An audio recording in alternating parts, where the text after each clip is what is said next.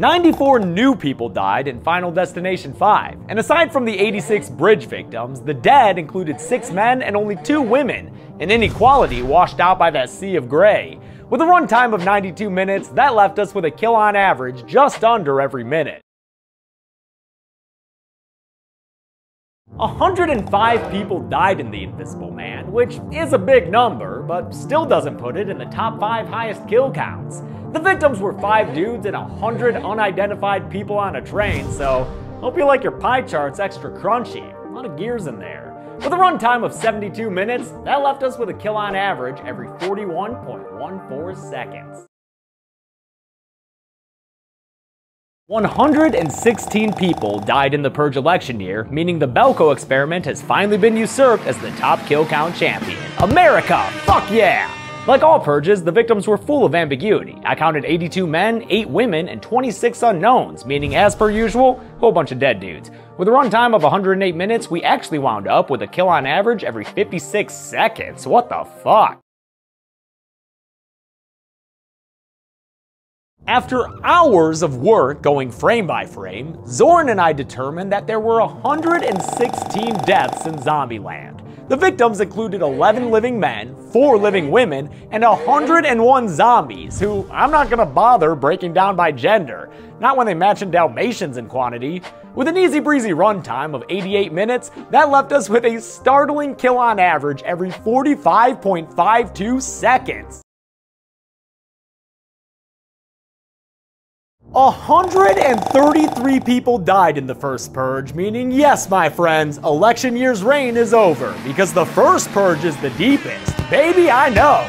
The victims included, I think, 60 men, 12 women, and 61 of unknown gender, thanks to all those background bodies. And with a runtime of 97 minutes, that left us with a kill on average every 43.76 seconds? Holy shit!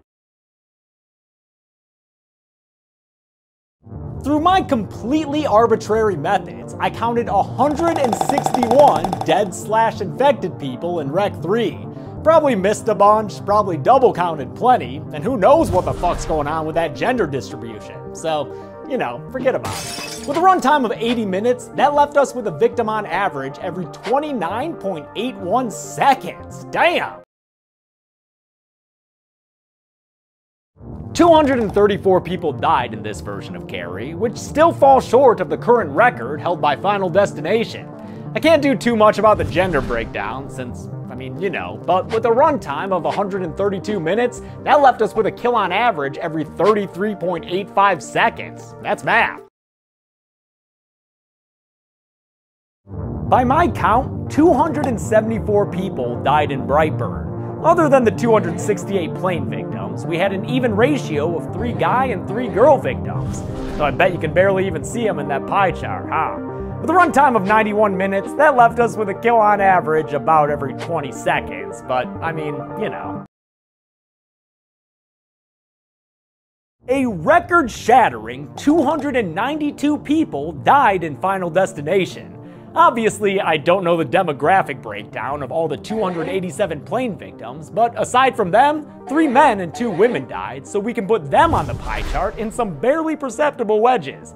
With a runtime of 98 minutes, we had a kill on average technically every 20.14 seconds. But yeah, you can see here why averages aren't always useful.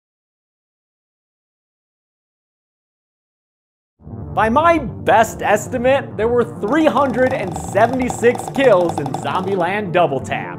That beats the record of 292 set by Final Destination 532 days ago. Ladies and gentlemen, your winner and new kill count champion, Zombieland Double Tap! Congratulations. With a runtime of 99 minutes, that left us with a kill on average every 15.8 seconds. What the fuck, man? Whoa, boys. Now that's a lot of death. So yeah, that's about it. Uh, play the brand new outro music.